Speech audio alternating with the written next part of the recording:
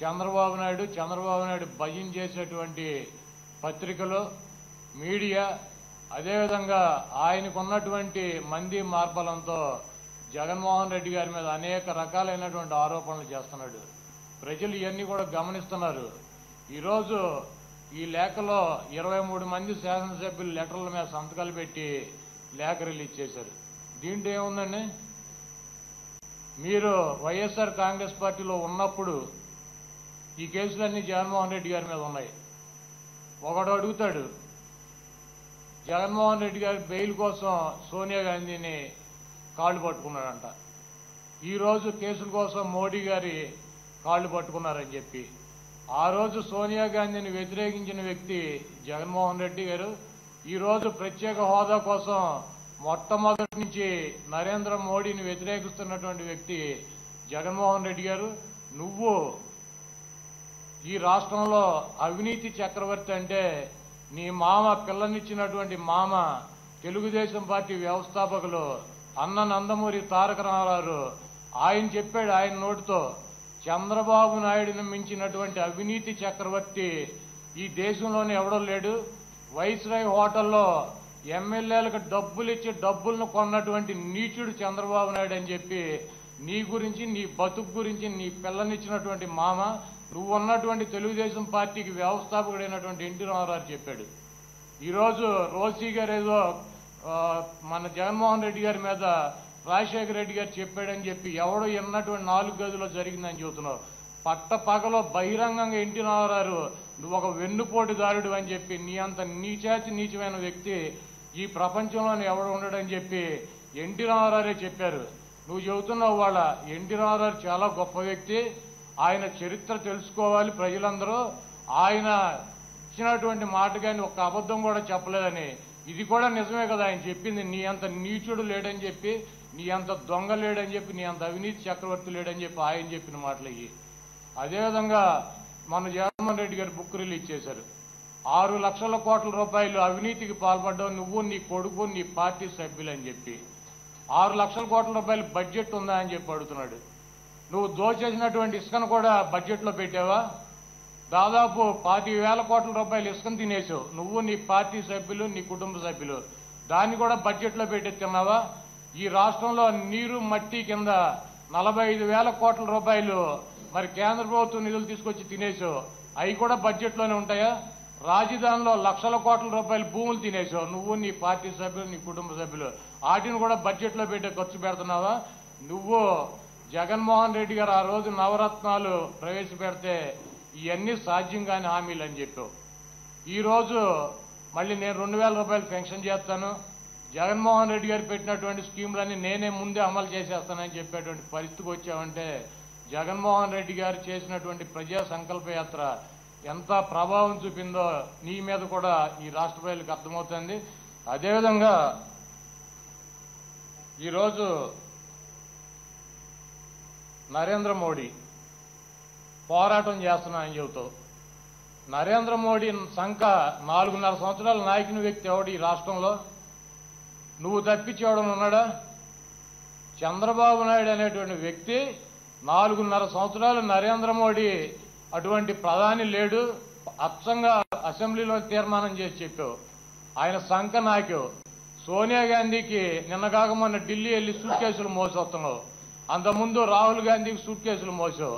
కాంగ్రెస్ వాళ్ళ సంఖ నాకింది నువ్వే సోనియా బీజేపీ వాళ్ళ సంఖ నాకేది నువ్వే. జగన్మోహన్ రెడ్డి గారు ఆయన ప్రజలు నమ్ముకున్నటువంటి వ్యక్తి. ప్రజలు నమ్ముకున్నటువంటి వ్యక్తి కాబట్టే రెండు వేల పద్నాలుగు ఎన్నికల్లో సోలోగా పోటీ చేసి ఈ రాష్ట్రానికి ప్రతిపక్ష నాయకుడు అయ్యాడు. రెండు వేల పంతొమ్మిదిలో కూడా జగన్మోహన్ రెడ్డి గారు సోలోగా వైఎస్ఆర్ కాంగ్రెస్ పార్టీ నూట సీట్లు పోటీ చేసి ఈ రాష్ట్రానికి ముఖ్యమంత్రి కాగలుగుతున్నాడు. ఆయన ప్రజలు నమ్ముకున్నాడు కాబట్టి ప్రజల మధ్య ఉంటాడు. ప్రజల మధ్యనే పార్టీ పెట్టాడు. ప్రజలతోనే ఆయన జీవిస్తాడు కానీ నీకు మళ్ళీ దొంగ బతుకు ముసుగేసుకుని ఒకళ్ళ దగ్గరికి ముసుగు లేకుండా ఒకళ్ళ దగ్గరికి వెళ్ళి ఆళ్ళ కాళ్ళు ఈళ్ళ కాళ్ళు పట్టుకుని నిన్నగా మొన్న చెప్తాడు పవన్ కళ్యాణ్ గారు వచ్చి నాతో కలవాలని చెప్పి.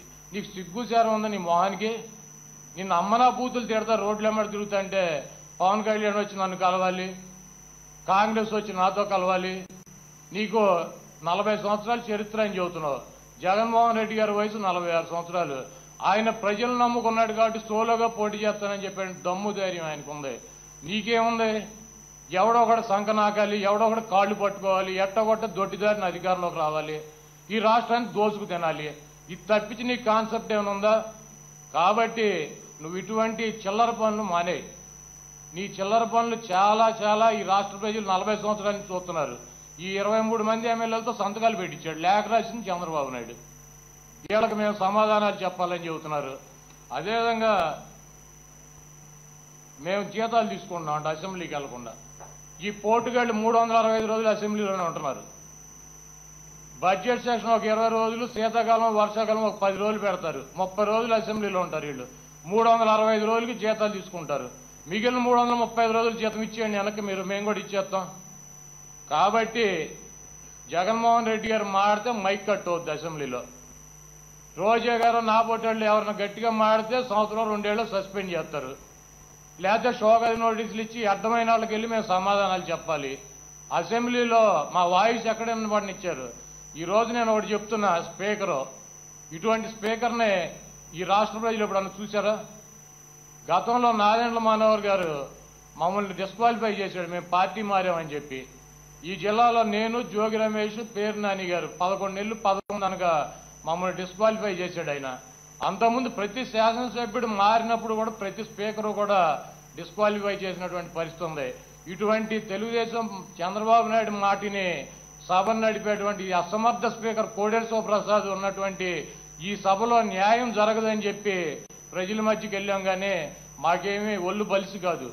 ఈ రోజు జగన్మోహన్ రెడ్డి గారు ఒకటే చెప్తున్నా ఆ రోజు రాజశేఖర రెడ్డి గారి మీద ఏ రకమైనటువంటి దాడి జరిగిందో రాజశేఖర రెడ్డి గారు అధికారంలోకి వస్తే ఏ రకంగా చేస్తాడని చెప్పి ఈ చంద్రబాబు నాయుడు ఈ ఎల్లో మీడియా ఈ తెలుగుదేశం పార్టీ శ్రేణులు చెప్పినాయో అదేవిధంగా జగన్మోహన్ రెడ్డి గారి మీద కూడా వ్యక్తిగతంగా ఆయనకున్నటువంటి అన్ని రకాల అన్ని విధాలుగా ఆయన మీద దాడి చేసి ఆయన్ని తక్కువ చేసి చూపించేటువంటి ప్రయత్నం చేస్తున్నారు.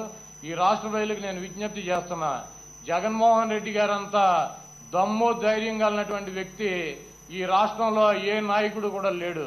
ఆయన ఇచ్చినటువంటి మాట కోసం ఆయన నమ్ముకున్నటువంటి సిద్ధాంతం కోసం ఆయన నష్టపోవటాకైనా సిద్ధంగా ఉంటాడు కానీ మాట తిప్పని మడమ తిప్పనటువంటి ఏకైక రాజకీయ నాయకుడిగా ఈ చరిత్రలో జగన్మోహన్ రెడ్డి గారు నిలిచిపోతారు. ఒక్కసారి కనుక ఆయనకు అవకాశం ఇచ్చినట్టయితే ఈ రాష్ట్రంలో ఆయన బతికున్నంత కాలం ముఖ్యమంత్రిగా ప్రజల ఆశీస్సులతో ఉంటాడని చెప్పి చనిపోయిన తర్వాత కూడా ప్రజల గుండెల్లో రాజశేఖర రెడ్డి గారి కన్నా గొప్ప స్థానం సంపాదించుకుంటాడని చెప్పి ఈ చంద్రబాబు నాయుడు లాంటి దొంగ వ్యక్తులు ఈ దొంగ ముఖ్యమంత్రి రామారావు చెప్పాడు నీచుడు నికృష్టుడు వెన్నుపోటుదారుడు ఇటువంటి అవినీతి చక్రవర్తి లేడని చెప్పి దయచేసి నిన్నగాక మొన్న జరిగినటువంటి తెలంగాణ ఎన్నికల్లో వెళ్ళాడు పెద్ద పోటుగాడిని అని చెప్పి అక్కడ ఏదో పగలు తెస్తానని చెప్పి అక్కడ గుడ్డలోడ తీసి పంపించారు ఇక్కడికి. అయినా సిగ్గురాల? మొన్న కేసీఆర్ గారు ఆయన ప్రెస్ మీట్ పెట్టి ఆయనకు ఒక ఇరవై క్వశ్చన్లు అడిగాడు. ఒక్కదానికి సమాధానం లేదు. మళ్ళీ ఇక్కడ ఈయనకున్న ఊరకొక్కలు ఆడితో బోబోమని మురిగిస్తాడు వాళ్ళని ఆయన మీద. వాళ్ళు నేను మాట్లాడా మళ్ళీ సాయంత్రానికి ఇక్కడే ఉంటే బేవాళ్ళ రోడ్లు ఎమ్మడి తిరుగుతా. అవి నాలుగైదు వచ్చి మురుగుతూ ఉంటాయి. కాబట్టి చంద్రబాబు నాయుడు నీ టైం అయిపోయింది. నీకు వన్ ట్వంటీ ఫైవ్ డేస్. నీ టైం అయిపోయింది. కాబట్టి ఇప్పటికైనా నువ్వు బుద్ధి తెచ్చుకుని ప్రజల యొక్క కష్టాలు నష్టాలు సుఖాలు తెలుసుకుని చెప్పి ఈ నూట ఇరవై ఐదు రోజులైనా వాళ్ళకి ఏమన్నా సేవ చేసి కనీసం పోయేటప్పుడన్నా మంచి అనిపించుకో. నువ్వు కనుక ఇదే ప్రవర్తన మొన్న వెళ్ళి కడప స్టీల్ ప్లాంట్కి శంకుస్థాపన చేస్తాడు. ఇంకా నెల రోజుల్లో నోటిఫికేషన్ వస్తే కడప స్టీల్ ప్లాంట్ కట్టేస్తాడంట. నిన్న వెళ్ళి అక్కడ ఎయిర్పోర్ట్ షిప్ షిప్ యార్డ్కి శంకుస్థాపన షిప్ యార్డ్ కట్టేస్తాడంట. ఇక్కడెక్కడో పెద్ద పేపర్ ఫ్యాక్టరీ కట్టేస్తారండి ప్రపంచంలో ఎక్కడా లేనిది. కేంద్రం సహకరించకపోయినా ఢిల్లీ లాంటి అమరావతిని కట్టేస్తా సింగపూర్ లాంటి అమరావతిని కట్టేస్తానని చెబుతాడు. ఏమీ లేవు. చంద్రబాబు నమ్ముకున్నది రెండే. ఒకటి ఈ శంకుస్థాపన చేసేసి ఇరవై రోజుల్లో నన్ను మళ్ళీ ఇంకొక ఐదు సంవత్సరాలు గెలిపిస్తే మళ్ళీ నేను ఈ రాష్ట్రాన్ని ఓడతీస్తాను పగలు తీస్తాను అని చెప్పి ప్రజలను నమ్మించాలని ఒకటి. ఆయన కొట్టేసిన కన్నాలేసినటువంటి ఆరు లక్షల కోట్ల రూపాయలు ఎన్నికల్లో ఖర్చు పెట్టి గెలవాలని చెప్పి ఈ రెండు తప్పించి చంద్రబాబు నాయుడికి అసలు మూడోటువంటి సిద్ధాంతమే లేదు. చంద్రబాబు నాయుడు అటువంటి నీచాతి నీచమైనటువంటి ముఖ్యమంత్రి ఈ రాష్ట్రం దరిద్రం ఎప్పుడు వదులుద్దా అని చెప్పి రాష్ట్ర ప్రజలు నూట ఇరవై ఐదు రోజులు ఎదురు చూస్తున్నారు.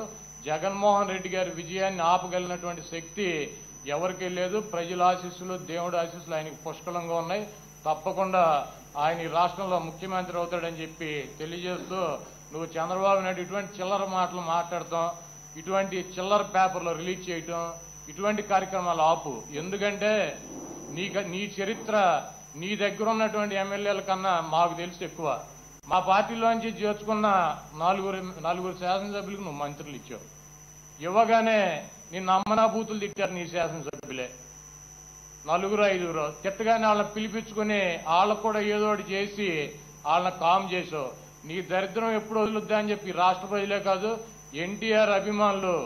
అదేవిధంగా ఈ రాష్ట్రంలో తెలుగుదేశం పార్టీ శ్రేణులు కూడా కింద ఉన్నటువంటి కార్యకర్తలనే గాలికి వదిలేసి పందికొక్కుల్లాగా తినేసినటువంటి నువ్వు నీ మంది మార్పాలనే మట్టు పెడతానికి నూట ఇరవై ఐదు రోజులు ఈ రాష్ట్ర ప్రజలు సిద్ధంగా ఉన్నారు.